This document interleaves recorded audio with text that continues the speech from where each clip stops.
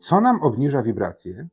Czy tylko to, jak reagujemy na okoliczności, czy może coś więcej? Bo prawie cały internet mówi, że inni ludzie nam kradną energię.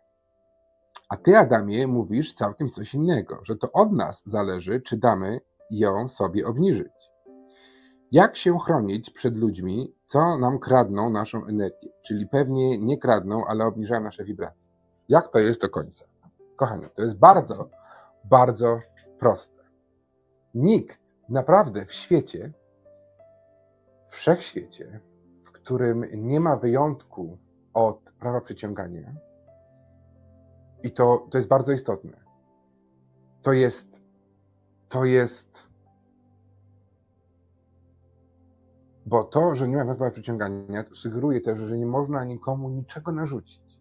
Że wszystko, co my doświadczamy, jest odbiciem, odzwierciedleniem naszej wewnętrznej rzeczywistości, naszego umysłu, naszych wierzeń. Do czego zmierzam? Nikt, nic tak naprawdę nie może ci niczego w tym życiu narzucić. Nikt, niczego. Ja mogę tutaj przyjść, mogę stać przed tobą, pół metra od twojej twarzy, być absolutnie negatywny, na wszystko narzekać. To od ciebie zależy, czy ty poświęcisz mi uwagę w tym momencie, czy nie. Czy ty mnie zignorujesz, czy nie bo ty możesz się odwrócić, możesz przeprosić, podziękować i pójść gdzieś indziej.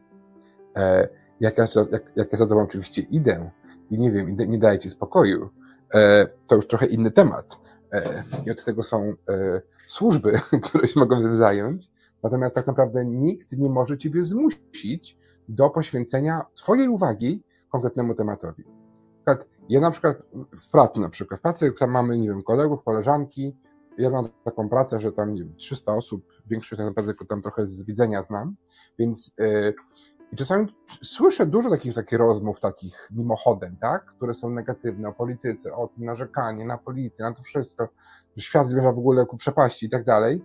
E, kiedyś też było dużo o Brexicie i tak dalej. I, I teraz to, na ile ty dasz, czy pozwolisz sobie wciągnąć się w tą rozmowę, zależy tylko i wyłącznie od ciebie.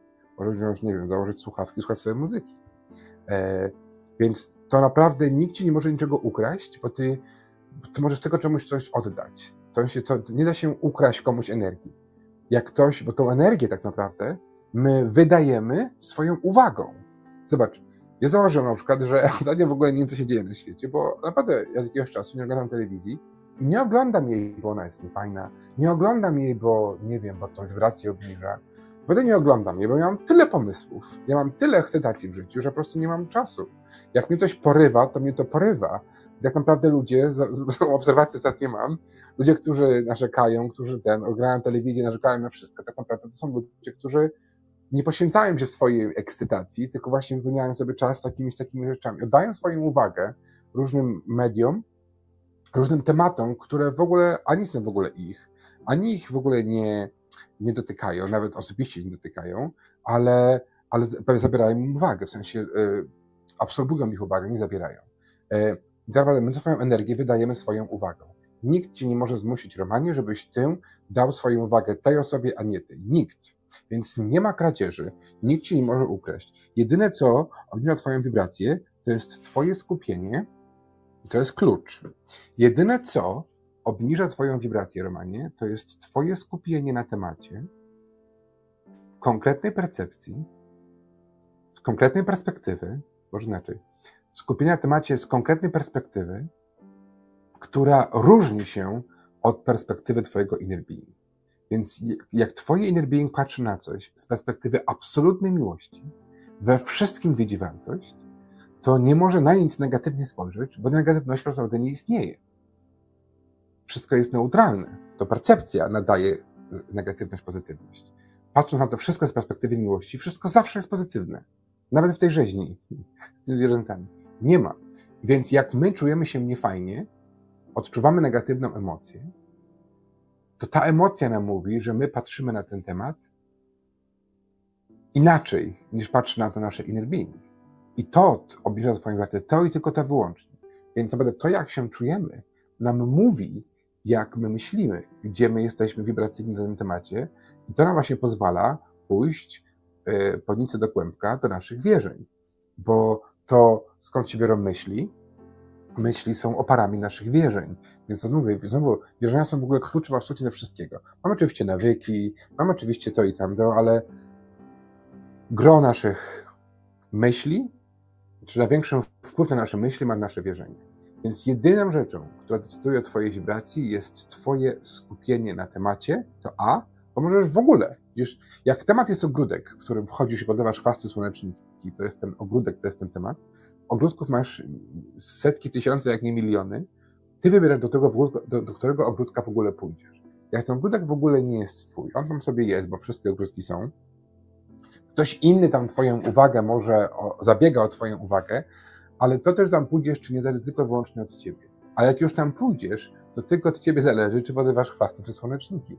Widzisz, nawet w rozmowie z negatywną osobą, a nie da się naprawdę żyć tak, żeby nie wchodzić w interakcję z negatywnymi osobami. Nawet w rozmowie z negatywną osobą, może taki czas, taki, taki, taki, taki czas może przyjdzie, gdzie zauważysz negatywność tej osoby, ona nie będzie ciebie dotykać, w sensie twojej wibracji obniżać, wręcz wysłuchasz i powiesz jedno zdanie albo jedno słowo, które naprawdę może kompletnie zmienić czyjeś życie. I na tym polega inspiracja. Bo my naprawdę, każdy z nas jest nauczycielem dla kogoś. Nie ma takiej opcji, żeby tutaj ktoś nie był nauczycielem kogoś innego. E, I na tym właśnie e, cała moc jest zawsze z tobą. Nikt ci nie może niczego narzucić, nikt ci nie może niczego zabrać. Ludzie, którzy mówią, że ludzie kradną ci energię, to tak naprawdę są ludzie, którzy chcą kontrolować okoliczności. A tego się nie da. To jest walka, to się zmęczysz, będziesz zmęczony, będziesz e, naprawdę styrany tym i nic nie zmienisz, bo my na okoliczności nie mamy wpływu.